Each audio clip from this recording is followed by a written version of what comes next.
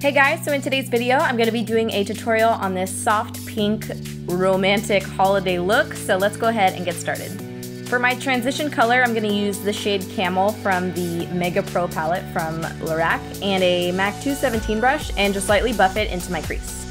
Why do I do this voice when I'm doing a voiceover? To warm up and darken the crease a little bit, I'm taking Mulberry from the same palette and I'm gonna add that like directly into the crease of my eye socket and slowly kind of like start to shade it towards the middle of my eye. I'm keeping it very round and soft this time. Normally I wing everything out, but I'm keeping it very round today. So now I'm just gonna, what am I doing? What am I doing? What am I doing?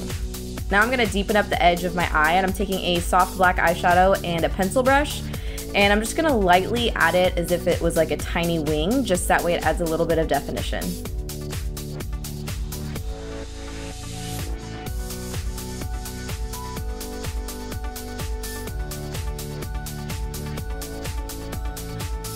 Now to brighten up the lid, I'm to take this CK1 eyeshadow in the color Ambitious and I'm just to apply that directly with my finger. And I'm adding it dry for like a soft natural effect, but if you wanted to make it look more dramatic, you could apply it wet. And then I just buff it all over the lid with my finger. And then I'm gonna come back in with that MAC 217 brush and lightly buff it all together. And just to deepen it up a little bit more, I came back in with that pencil brush and some black eyeshadow and just did like a little baby wing.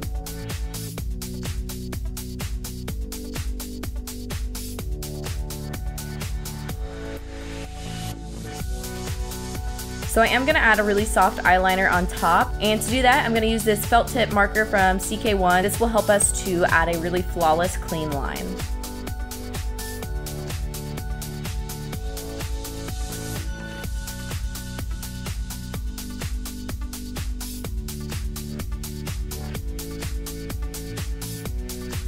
I'm adding the tiniest wing I've ever added. I'm pretty sure the smaller wings are actually harder to do than the larger ones, as you can tell.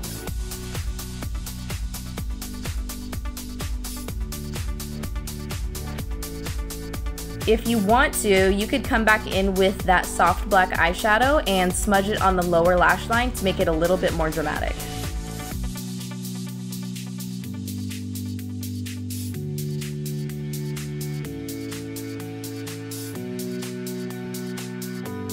Now I'm going to apply some volumizing mascara and I'm going to build it up by applying several coats.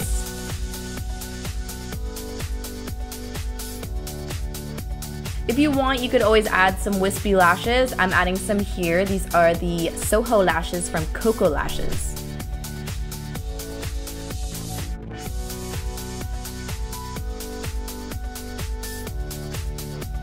And then to polish off this look, I'm gonna add this Pearly Shine lipstick in the color High. And it's actually very creamy in a nice pretty pink color. And now we're all wrapped up with this look. If you guys wanna see details on the products I use, make sure to check the description box down below. I hope you guys enjoyed this video and thank you so much for watching.